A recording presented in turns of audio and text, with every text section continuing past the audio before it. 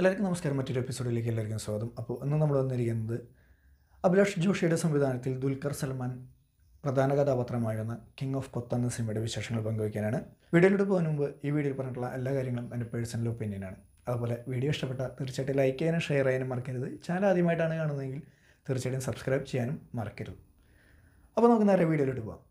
നിങ്ങൾ കാത്തിരിക്കുന്ന ആ ഒരു ചോദ്യം. എന്താണ് അതിന്റെ ഉത്തരം എന്നാണ് നിങ്ങൾക്കറിയേണ്ടത് അല്ലേ? പടം എങ്ങനെയുണ്ട്? പടം എങ്ങനെയുണ്ട് എന്ന് ചോദിച്ചാൽ എന്റെ ഒരു അഭിപ്രായം പറയുകയാണെങ്കിൽ പ്രഡിക്റ്റബിൾ ആയിട്ടുള്ള വളരെ ബ്രൂട്ടൽ ഫൈറ്റ് സീക്വൻസ് ഉള്ള ദുൽഖറിന്റെ മികച്ച അഭിനയമുള്ള ഒരു വൺ ടൈം വാച്ചബിൾ ആയിട്ടുള്ള ഒരു മൂവി അങ്ങനെയാണ് എനിക്ക് പേഴ്സണലി കിങ് ഓഫ് കൊത്ത എന്ന സിനിമ തോന്നിയത്. ആദ്യം തന്നെ നമുക്ക് ഈ സിനിമയുടെ ടെക്നിക്കൽ സൈഡ് നോക്കാം. നമുക്ക് സോങ്സ് ആണെങ്കിലും ബാക്ക്ഗ്രൗണ്ട് സ്കോർ ആണെങ്കിലും അതേപോലെ കളർ ഗ്രേഡിങ് ആർട്ട് വർക്ക് എല്ലാം വളരെ മികച്ചു നിൽക്കുന്ന ഒരു സിനിമ തന്നെയാണ് കിങ് ഓഫ് കൊത്ത കാരണം ഇതൊരു ആയിരത്തി തൊള്ളായിരത്തി എൺപത്തി ആറ് കാലഘട്ടങ്ങളിലൂടെയാണ് ഈ സിനിമ കഥ പറഞ്ഞു പോകുന്നത്. ആ കാലഘട്ടം പിടിക്കാൻ വളരെ നല്ല രീതിയിൽ തന്നെ പണിയെടുത്തിട്ടുണ്ട്. കാരണം ആ ഡ്രസ്സിങ് സ്റ്റൈൽ അതിൽ ആ കാലഘട്ടത്തിലത്തെ വാഹനങ്ങൾ അതേപോലെ ആ കാലഘട്ടങ്ങളിലുള്ള പരസ്യങ്ങൾ ആഡുകൾ എല്ലാം നമുക്ക് ഈ സിനിമയിൽ കാണാൻ സാധിക്കുന്നതാണ്. പിന്നെ അഭിനയ പ്രകടനത്തിലോട്ട് വരാണെങ്കിൽ ദുൽഖറിന്റെ അഭിനയ പ്രകടനം വളരെ മികച്ചു നിൽക്കുന്ന അഭിനയ പ്രകടനം തന്നെയാണ്. ഈ സിനിമയിൽ അഭിനയിച്ചിരിക്കുന്ന ഏതൊരു നടീനടന്മാരും അവരുടേതായ റോളുകൾ ഭംഗിയായിട്ട് ചെയ്തിട്ടുണ്ട്. പക്ഷേ ഒന്ന് രണ്ട് നടീനടന്മാരെ ശരിക്കും എക്സ്പ്ലോർ ചെയ്യാൻ ഈ സിനിമയിൽ സാധിച്ചിട്ടില്ല. അതിൽ ഒന്നാമത്തെ നടി ശാന്തികൃഷ്ണ. വളരെ കുറച്ച് സീനുകൾ മാത്രമാണ് ഈ സിനിമയിൽ ശാന്തികൃഷ്ണയ്ക്ക് ഉള്ളത്. ശരിക്കും ശാന്തികൃഷ്ണ എന്ന നടിക്ക് അഭിനയിച്ച് ഫലിപ്പിക്കാനുള്ള ഒരു ക്യാരക്ടർ അല്ല ഈ സിനിമയിലുള്ളത്. ശാന്തികൃഷ്ണയ്ക്ക് ഉള്ള ഒരു സ്പേസ് ഈ സിനിമയിൽ ഇല്ല. അതുപോലെ ഷമ്മി തിലകൻ. കുറച്ച് സീനുകളാണ് ഉള്ളത് എങ്കിൽ കൂടിയും അദ്ദേഹത്തിന്റെ റോൾ വളരെ ഗംഭീരമായിട്ട് തന്നെ അദ്ദേഹം ചെയ്തിട്ടുണ്ട്. എന്നാൽ കുറച്ചും കൂടിയും റോൾ അദ്ദേഹത്തിന് നൽകാമായിരുന്നു എന്ന് എനിക്കൊരു പേഴ്സണൽ ഒപ്പീനിയൻ ഉണ്ട്. പിന്നെ ഉള്ള ഒരു റോൾ സൗബിൻ സായറിന്റെ. ജസ്റ്റ് ഒരു സീനിൽ വന്നു പോകുന്ന ഒരു റോൾ മാത്രമാണ് സൗബിൻ സായറിന് ഈ സിനിമയിലുള്ളത്. എന്നാൽ അദ്ദേഹത്തിന്റെ ആ ക്യാരക്ടർ ശരിക്കും എക്സ്പ്ലോർ ചെയ്യാമായിരുന്നു എന്നും എനിക്ക് പേഴ്സണലി ഫീൽ ചെയ്തിട്ടുണ്ട്. പിന്നെ ഇതിലത്തെ മെയിൻ വില്ലൻ ക്യാരക്ടർ അതായത് ദുൽഖറിന് ഒത്ത വില്ലനായോ എന്ന് ചോദിച്ചു കഴിഞ്ഞാൽ ദുൽഖറിന് ശരിക്കും ഒരു പൊടി താഴെയായിട്ടാണ് വില്ലന്റെ റോൾ എനിക്ക് പേഴ്സണലി ഫീൽ ചെയ്തത്.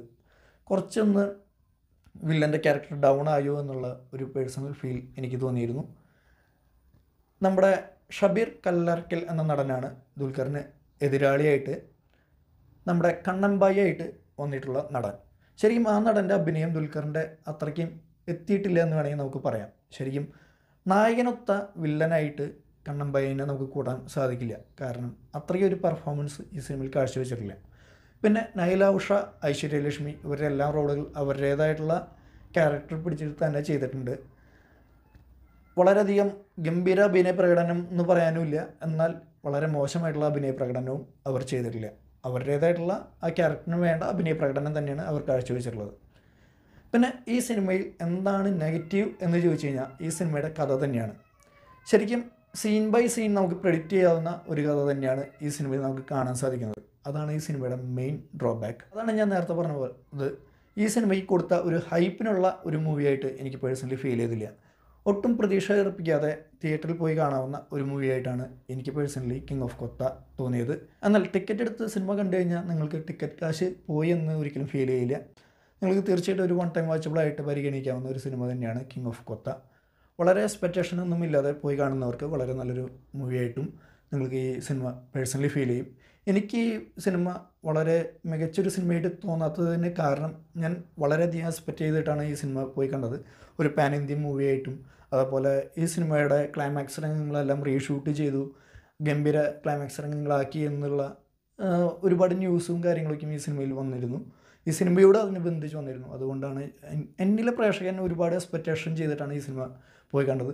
എന്നാലും എനിക്ക് നിരാശ നൽകിയിട്ടില്ല എന്നും ഞാൻ തീർത്തും പറയുന്നുണ്ട്. വളരെ മോശം ഒരു സിനിമയല്ല. എന്നാൽ മസ്റ്റായിട്ടും തിയേറ്ററിൽ പോയി കാണണം. വളരെ നിങ്ങൾക്ക് ഈ സിനിമ കണ്ടിട്ടില്ലെങ്കിൽ ശരിക്കും ഒരു മിസ് ചെയ്യുന്ന ഒരു സിനിമയായിരിക്കും എന്നൊന്നും ഞാൻ പറയുന്നില്ല.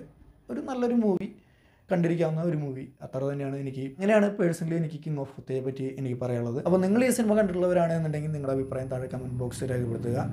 അതുപോലെ വീഡിയോ ഇഷ്ടപ്പെട്ടാൽ തീർച്ചയായിട്ടും ലൈക്ക് ചെയ്യാനും ഷെയർ ചെയ്യാനും മറക്കരുത്. ചാനൽ ആദ്യമായിട്ടാണ് കാണുന്നതെങ്കിൽ തീർച്ചയായിട്ടും സബ്സ്ക്രൈബ് ചെയ്യാനും മറക്കരുത്. അതുപോലെ അടുത്ത സിനിമയുടെ വിശേഷങ്ങളുമായിട്ട് നമുക്ക് അടുത്ത എപ്പിസോഡിൽ കാണാം. അതുവരേക്കും ബൈ